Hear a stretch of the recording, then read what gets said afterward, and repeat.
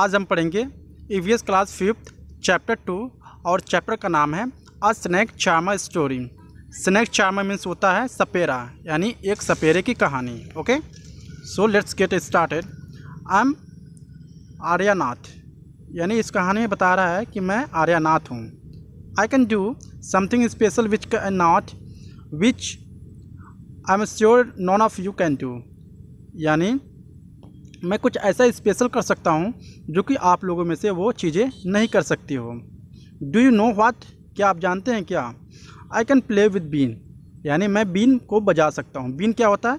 आप देख रहे हैं, ये जो पर्सन बजा रहा है, ठीक है? इसको बोलते हैं बीन जो हाथ में लिए रहता है, उसको बोलते हैं हम लोग been okay you must be surprise आप आश्चर्य हो गए yes I can make snakes dance by playing the been यानी जब मैं मैं क्या कर सकता हूँ? यानी जब मैं बीन को बजाऊँगा तो क्या कर सकती हैं, सांप जो हैं, वो डांस कर सकती हैं। I have learn this art from my family members मैं इस तरह का आर्ट मैं अपने फैमिली मेंबर से सीखा हूँ we play we people are known as a Kalbelias यानी कैलबिलियास इसको हम लोगों को बोलते हैं, इस तरह के पीपल को।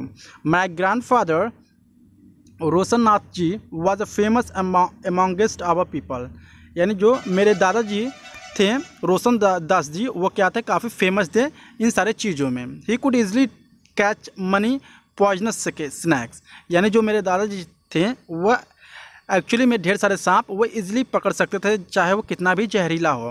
He tells me many stories about his past वो अपने बारे में ढेर सारी स्टोरी हम लोगों को बताते हैं। Come listen to his story in his own words यानी आइए और हम उन, उनके ही वर्ड में वो स्टोरी को सुनते हैं। दादाजी रिमेंबर्स मतलब दादाजी की यादें। So from the times of my grandfather and great grandfather ठीक है? यानी ग्रैंड फादर के टाइम में क्या होता था? Have we have always been saperas snake charmers जो दादाजी थे हमारे, वो क्या थे? वह एक सपेरा थे मतलब स्नैक चार्मस थे। Snakes have been important part of our life और जो सांप थे, वो हमारे जीवन में काफ़ी इम्पोर्टेंट पार्ट थे। We used to move from village to village carrying our snakes in a bamboo basket और हम लोग गाँव गाँव जाते थे, उस स्नैक्स को लेकर एक बाँस के बास्केट में उसको रख के, ठीक है बम्बू बास्केट में रख के। Whenever we stopped in a village जब भी हम लोग गाँव में रुकते थे a crowd would gather around us जो कि ढेर सारे जो भीड़ हमारे आसपास लग जाती थी। जब भी हम लोग गाँव में रुकते थे तो ज़्यादा भीड़ भाड़ लग जाती थी, ऐसा रोशन दास बोल रहे हैं, ठीक है? We would then take out our snakes from our basket तब हम लोग क्या करते थे? अपने सांपों को बास्केट से निकालते थे। Then after even after the show मतलब सांप को दिखाने के बाद people would stay on people क्या करते थे? वहाँ पर रुक जाते थे उन सांप को देखने के लिए। They knew that in our tin box there were many types of medicine for them वो जानते थे कि हमारे छोटे से टीन बॉक्स जो था टीन का एक बॉक्स होता था, उसमें क्या होती थी? बहुत ढेर सारे दवाइयाँ होती थी। We made this medicine from planted plants collected from the forest हम लोगों ने उस दवाइयों को कहाँ से बनाया था? जंगल से बनाया था, जो कि वो प्लांट से कलेक्टेड किया गया था। I had learn all his from my grandfather और मैं ये सारी चीज़ें अपने दादाजी से सीखा हुआ था। I felt nice that I could help people with my medicines, even if doctor and hospital were far off. Okay okay? यानी मैं सोचता था कि मैं इन दवाइयों से दूसरों की हेल्प करूँगा, जब भी हॉस्पिटल्स क्या होते थे? बंद होते थे। So people would give us some money food grants यानी पीपल क्या करते थे? हमें कुछ भोजन देते थे या कुछ अनाज देते थे और पैसे भी देते थे, इसके बदले।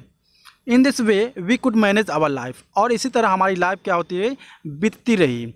Sometimes I was call to place where someone had been bitten by the snakes और मैं कुछ जगह पर ऐसे बुलाया जाता था जहाँ पर यानी किसी भी आदमी को सांप काट लिया होता था तो हम लोगों को वहाँ पर बुलाया जाता था। From the marks of the bites I try to find out which snakes had bitten the persons और मैं उस सांप के काटे जगह, काटे, जहाँ पर सांप काटा हुआ रहता था, उस मार्क से हम लोग पहचानने की कोशिश करते थे कि कौन सा सांप ने उस आदमी को काटा है। I would then give a medicine for that's और उसके बाद हम लोग उसको दवाइयाँ देते थे। But I have not always been on a time to help लेकिन मैं मैं हमेशा टाइम पर नहीं पहुँच पाता था उनको हेल्प करने के लिए। एज यू नो जैसा कि आप जानते हैं some snakes bite can even cause death on the spot यानी कुछ ऐसे भी सांप होते हैं, अगर वो आपको काट लेंगे तो आपकी मतलब स्पॉट मतलब जगह पे ही मौत हो जाएगी, उसी जगह पे मौत हो जाएगी. But most of the snakes are not poisonous लेकिन ढेर सारे ऐसे भी सांप हैं जो कि ज़्यादा जहरीले नहीं होते हैं. Sometimes when someone some farmers would come running for help shouting snake snake I would catch that snake यानी कुछ ऐसे भी फार्मर्स होते थे कि हमारे पास दौड़ते हुए आते थे कि चलिए सांप, हमारे यहाँ सांप है, ठीक है, सांप सब चिल्लाते थे तो हम लोग क्या करते थे, उस सांप को पकड़ते थे। So now after all catching snake was something I had been doing since my childhood यानी सांप की पकड़ने की जो मेरी पेशा थी, मेरी आदत थी, मैं उस सांप को पकड़ना मैं अपने बचपन से ही करता था। वो these were the good days यानी वो दिन भी काफ़ी अच्छे थे हमारे लिए। We could help lot of people in many ways और हम लोग डिफरेंट तरह के लोगों को लोगों की हेल्प करते थे। वी आल्सो इंटरटेन देम और हम लोग उनको इंटरटेन भी करते थे, मनोरंजन भी करते थे उनका। It was not like today when everyone watch TV for entertainment वह ऐसा दिन नहीं था जो कि आजकल की तरह सब लोग टी वी देखते थे। उस समय टी वी नहीं थे। वेन आई ग्रू ओल्डर जब मैं बड़ा हो गया my father taught me how to remove their poisonous teeth और मेरे जब मैं बड़ा हो गया तो मेरे पिताजी सिखाएँ कि हमें किस तरह से सांप की दांतों को निकालना चाहिए, okay? He also taught me how to close the tube of poisonous in the snake's mouth और उन्होंने हमें यह भी सिखाया कि हमें किस तरह से सांप के मुँह में जो ट्यूब होती है जहर वाली, हमें किस तरह से उसको बंद करना चाहिए, ओके? सो यहाँ पर कुछ क्वेश्चन है यहाँ पर, चलिए इसको सॉल्व करते हैं think and tell have you ever पहला क्वेश्चन है have you ever seen anyone playing a been where क्या आपको कभी बीन बजाते हुए किसी को देखा है? अगर कहाँ देखा है तो मैं बता दूँ कि ढेर सारे जहाँ पे विलेजेस हैं ठीक है वहाँ पे लो सपेरा ज़्यादा पहले आते थे बट इस टाइम पे बहुत ही कम आते हैं ठीक है। तो वो क्या करते थे सांपों को अपने लेकर आते थे उस सांप को अपने बॉक्स से निकालते थे और वहाँ पे क्या करते थे आ, बीन बजाना शुरू करते थे तो और लोगों की तमाशा जुट जाती थी और ढेर सारे लोग उसको इंटरटेन भी करते थे अच्छे से देखते भी थे। सेकेंड क्वेश्चन है have you seen a snakes where क्या आपने कभी सांपों को देखा है? कहाँ पर देखा? हाँ आप बता सकते हैं हाँ मैंने सांपों को देखा है। मैं अपने अकॉर्डिंग बता रहा हूँ, मैंने अपने सांपों को देखा है, ठीक है? यानी मैं सांपों को देखा है कहाँ पर? खेतों में। Have you scared by it why क्या आप उससे डर गए जब उसको देखे यस मैं डर गया, क्योंकि वो काफ़ी उनके जो चमड़ियाँ होती हैं, ठीक है? स्किन होती है ऊपर की, काफ़ी वो भयानक लगती है देखने में, डरावनी लगती है मुझे, ठीक है? और वो काफ़ी मोटे होते हैं, बड़े होते हैं, ठीक है? Do you think all snakes are poisonous क्या आपके हिसाब से जितने भी सांप होते हैं, उनके जहर होते हैं? No no. मतलब सारे सांप जहरीले नहीं होते हैं। कुछ ऐसे सांप हैं जिनके पास जो कि जहरीले होते हैं और कुछ ऐसे भी सांप हैं जो कि उनके ज़्यादा वो जहरीले नहीं होते हैं।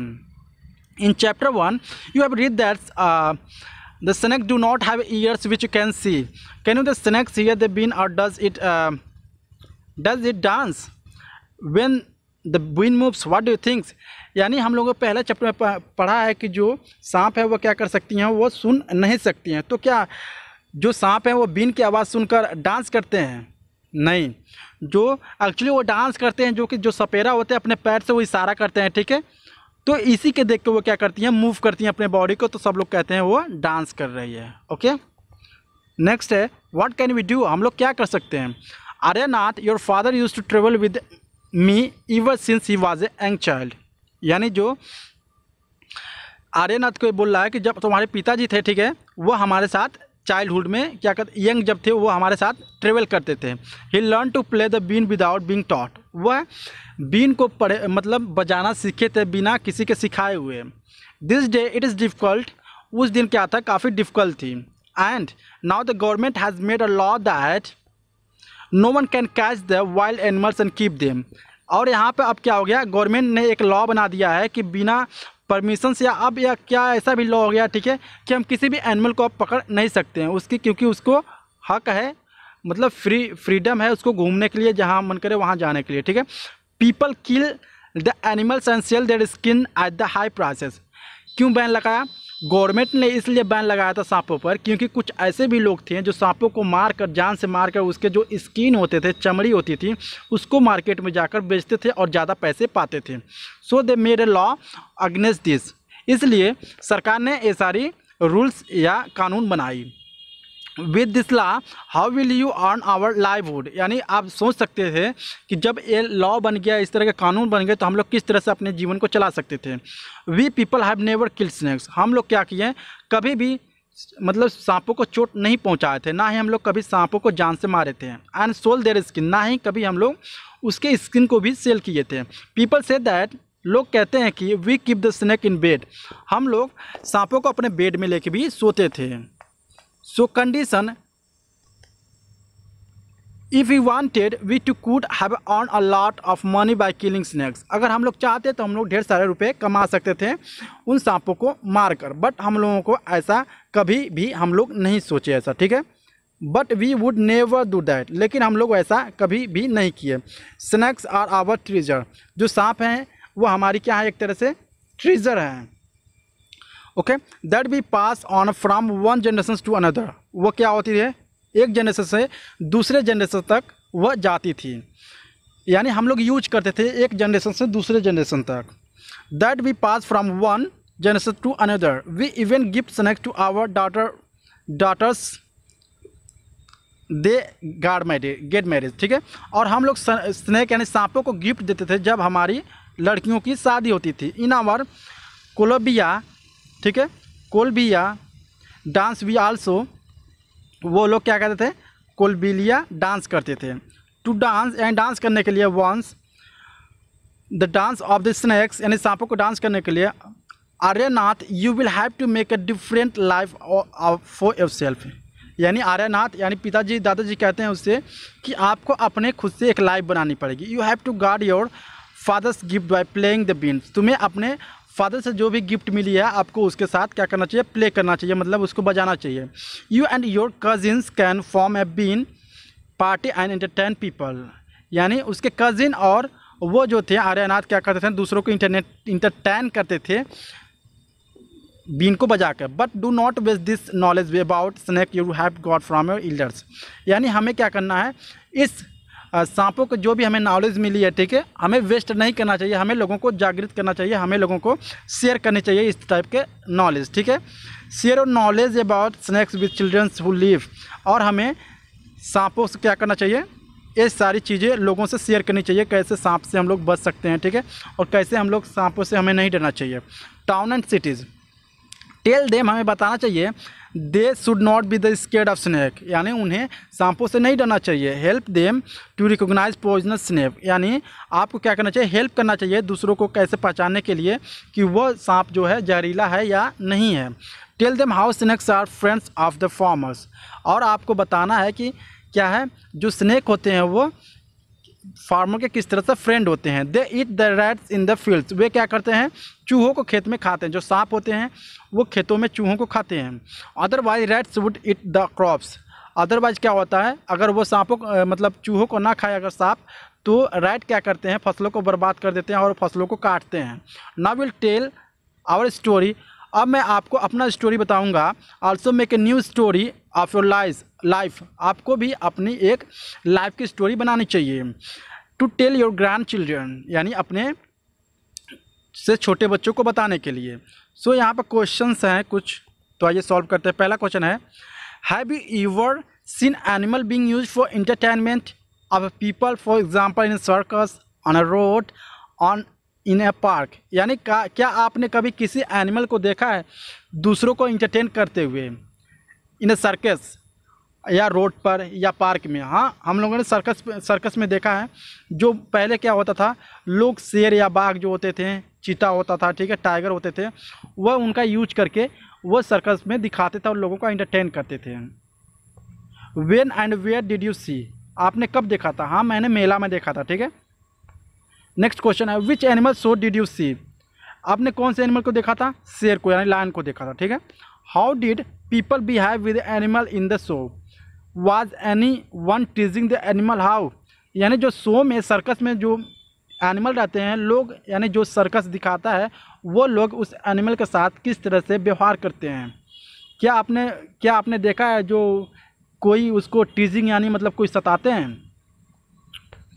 तो हाँ मतलब थोड़ी प्रॉब्लम तो होती है जब लोग सर्कस दिखाते हैं, ठीक है? तो वो क्या करते हैं, उनको इलेक्ट्रिक शॉक देते हैं टच करते हैं उनके बॉडी से, उनको शौक लगता है, ठीक है? तो ये सारी चीज़ें होती हैं, उनको काफ़ी टीजिंग करते हैं लोग। लास्ट क्वेश्चन है what kind of questions come to your minds after seeing that animal show यानी जब आप उस एनिमल शो को देख रहे थे तो आपके दिमाग में किस तरह के क्वेश्चन उठ रहे थे? तो हमें हमें क्या क्वेश्चन उठ रहे थे? कि हमें क्या करना चाहिए? किसी भी जानवर को उसका यूज़ करके लोगों का इंटरटेन नहीं करना चाहिए, क्योंकि हर एक जानवर के पास अपना एक हक होता है, अपना एक फैमिली होता है, ठीक है? अपना एक फ्रीडम होना चाहिए उनको अपने घर में रहने के लिए, अपने खुद के घर को बनाए मतलब मतलब बना कर रहने के लिए, ठीक है? क्योंकि जो अगर कोई भी जानवर है जो कि वह जंगल में रहता है तो उसको जंगल में ही रहना चाहिए, क्योंकि वही उसके लिए सूटेबल है।